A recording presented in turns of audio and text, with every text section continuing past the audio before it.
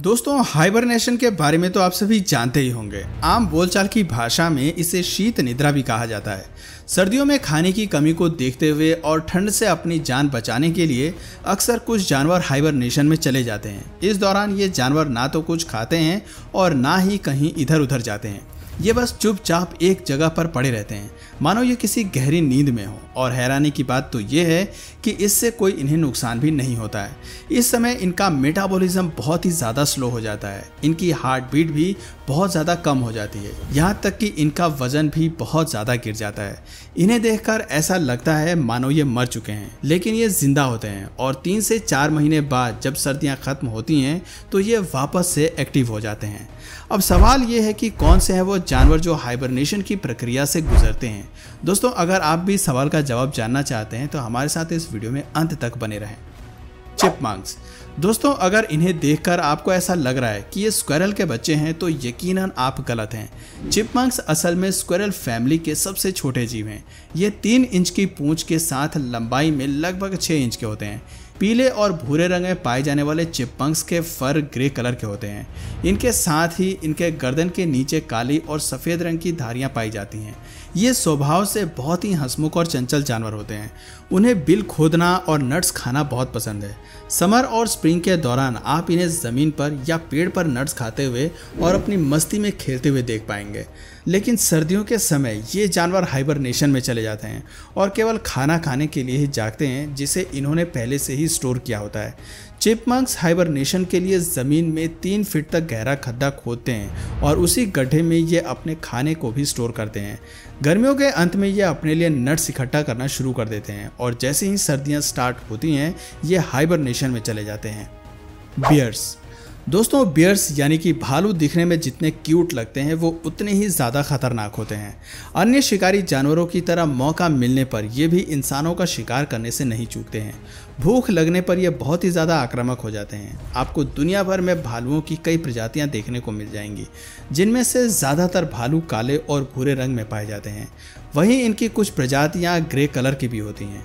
भालू साइज़ में काफ़ी विशाल होते हैं। उनके सपाट पैर उन्हें पेड़ों पर चढ़ने में मदद करते हैं। वे गर्मियों के दौरान घूमते हैं और सर्दियों के दौरान हाइबरनेट करते हुए देखे जाते हैं। भालू मांद यानी डैन में हाइबरनेट करते हैं। इनकी डैन अक्सर पेड़ के नीचे, पत्तियों और झाड़ियों के बीच में या फिर कुछ चट्टानों की दरारों में होती हैं। ये हाइबरनेट में जाने से पहले यानी कि गर्मियों के अंत में दोगुना भोजन करते हैं और सर्दियों में खुद को जीवित रखने के लिए गहरी निद्रा में चले जाते हैं। और आपको जानकर हैरानी होगी कि इनमें से ज़्यादातर तो स्प्रिंग का मौसम आने पर भी नहीं जागते हैं। लेकिन जो प्रेग्नेंट फीमेल बियर्स होती हैं, वो अपने बच्चों को जन्म देने के लिए जनवरी या फरवरी के दौरान जाग जाती हैं।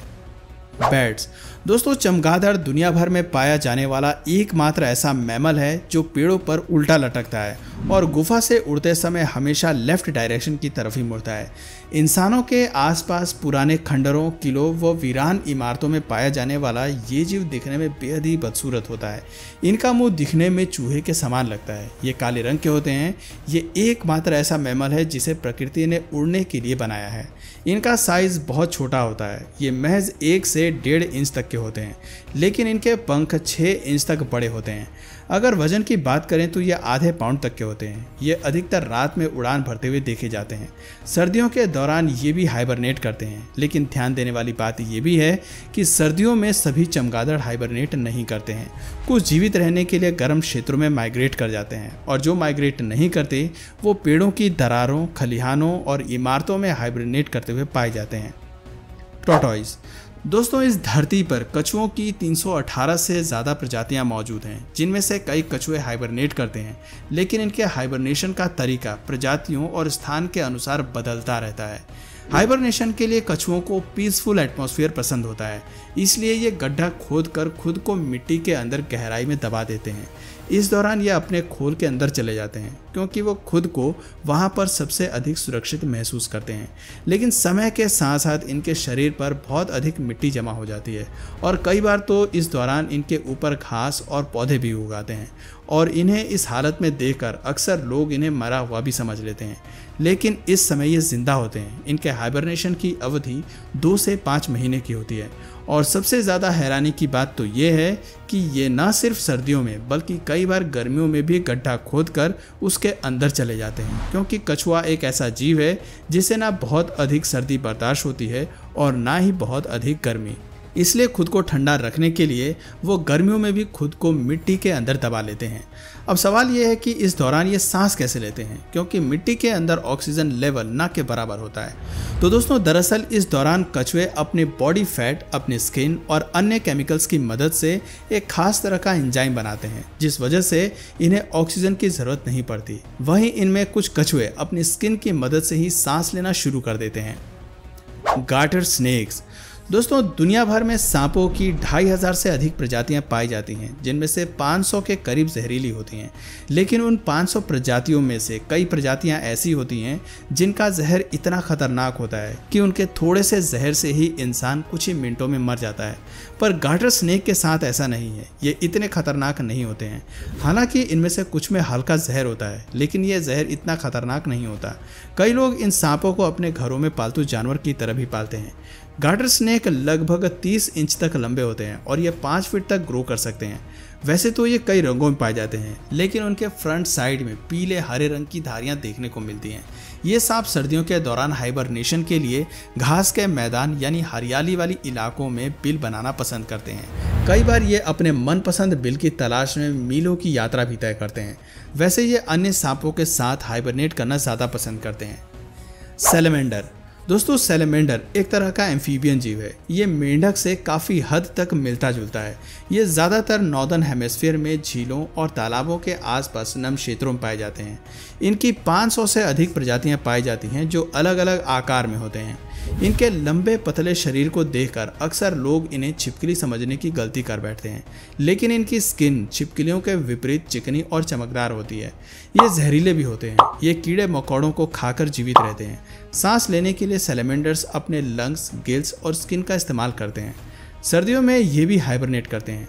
अधिकांशतः वयस्क सेलेमेंडर दिन में छिपते हैं और रात में भोजन करते हैं। कुछ प्रजनन के मौसम तक ज़मीन के अंदर अपने बिल में छिपे रहते हैं और ये तभी उभर कर बाहर आते हैं जब नमी और तापमान का लेवल उनके लिए बिल्कुल परफेक्ट हो। वेल well, आपको बता दें कि कुछ सेलेमेंडर जैसे कि मड पपी हाइबरनेट नहीं करते हैं। ये सर्दियों में भी पूरी तरह एक्टिव रहते हैं। अलास्कन वुड फ्रॉग दोस्तों, मेंढक हमारी दुनिया में पाए जाने वाले ऐसे जीव हैं जो आगामी मौसम को सबसे पहले भाप लेते हैं। जल और थल में समान रूप से पाए जाने वाला ये जीव दिखने में जितना अजीब लगता है, वास्तविकता में ये उससे भी कहीं ज़्यादा इंटरेस्टिंग होते हैं। और बात जब अलास्कन वुड फ्रॉग की हो तो ये आपको और भी ज़्यादा हैरान कर सकता है। अलास्का में जब टेम्परेचर माइनस बीस डिग्री सेल्सियस गिर जाता है, तब इस मेंढक का शरीर लगभग फ्रीज हो जाता है, यानी हाइबरनेशन में सो जाता है। उस वक्त ये लगभग 80 प्रतिशत तक बर्फ़ में जम जाते हैं और आपको जानकर हैरानी होगी कि इस दौरान इनका सांस लेना भी बंद हो जाता है। उसके दिल की धड़कन भी बंद हो जाती है। अगर डॉक्टरी भाषा में कहें तो ये मर चुका है। लेकिन जब वसंत की शुरुआत होती है और इनके ऊपर से बर्फ़ फटती है तो इनके दिल में अचानक से इलेक्ट्रिक चार्ज उत्पन्न होता है और इनका दिल फिर से धड़कने लगता है। मतलब ये कि ये फिर से ज़िंदा होकर अपने काम पर लग जाते हैं। वैसे इनकी इसी खूबी को देखकर लोग इन्हें फ्रोज़न फ्रॉग भी कहते हैं। तो दोस्तों, इस वीडियो में फ़िलहाल इतना ही। हमारे द्वारा बताए गए इन सभी जानवरों में कौन से जानवर के हाइबरनेशन का तरीका आपको सबसे ज़्यादा इंटरेस्टिंग लगा, नीचे कमेंट सेक्शन में ज़रूर बताइए। और अगर इस वीडियो से आपको कुछ नया जानने या सीखने को मिला या फिर इंटरेस्टिंग लगा तो प्लीज़ इस वीडियो को एक लाइक करके अपने फ्रेंड्स और फैमिली में से ज़रूर शेयर करें। और यदि आप इस चैनल पर नए हैं तो प्लीज़ इस चैनल को सब्सक्राइब करके बेल नोटिफिकेशन आइकन को ऑन कर लीजिए, ताकि हमारे आने वाले वीडियोज़ आप मिस ना करें। मिलते हैं फिर किसी वीडियो में नए टॉपिक के साथ। तब तक के लिए नमस्कार।